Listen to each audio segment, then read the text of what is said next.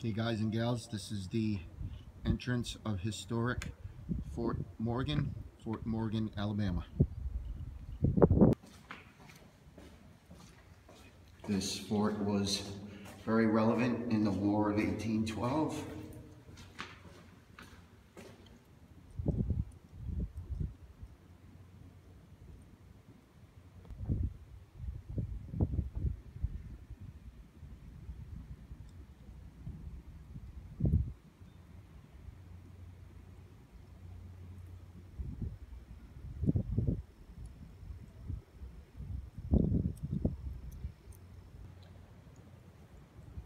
Would be a great location for another little short movie, but I don't know what the movie would be about.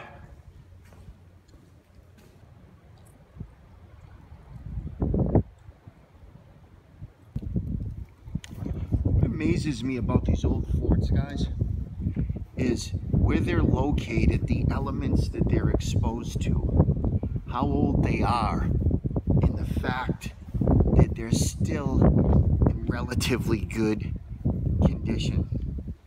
You know? Like all these forts that I visit are well over 100 years old, so that's pretty amazing to the testament to the engineering of the times.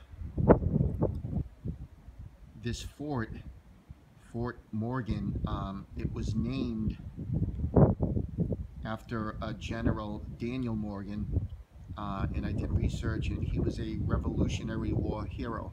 It's kind of interesting.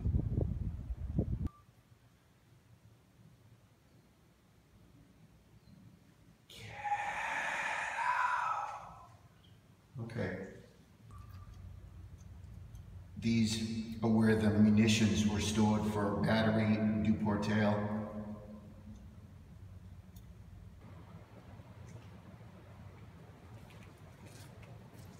Guys, if you've never been to these old historic forts, you definitely should come. They're so fun to like walk around and explore.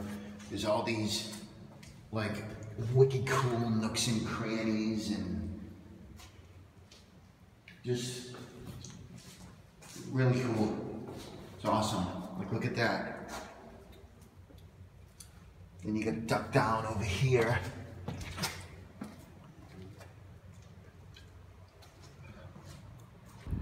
Guys, during the siege of 1864, this place was holding, get a load of this, more than 60,000 pounds of gunpowder. Think of that. I love the signs of decay. It's so cool.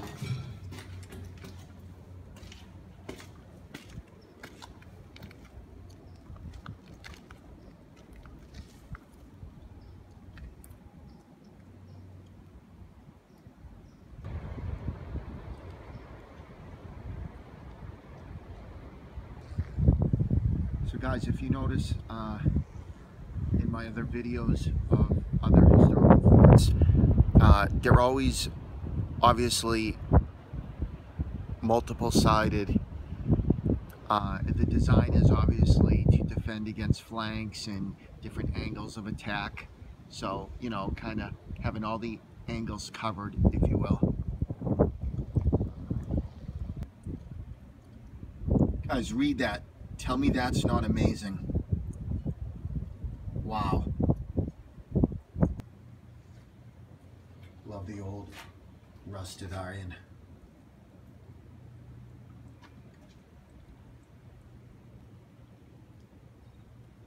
This is a pretty uh, cool view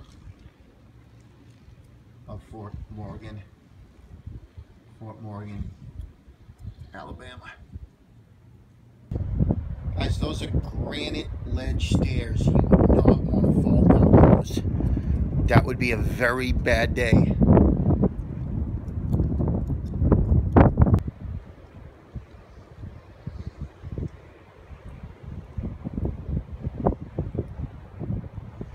Bad day falling down those. Oh, let's go this way.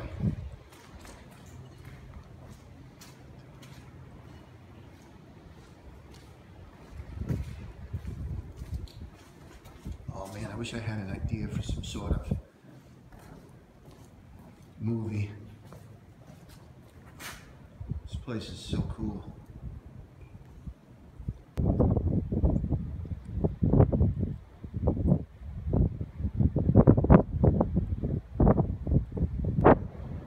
So back in the day, they used to uh, have animals put in a contribution and more effort. So this is where the dogs and cats would uh, fire their ammunition.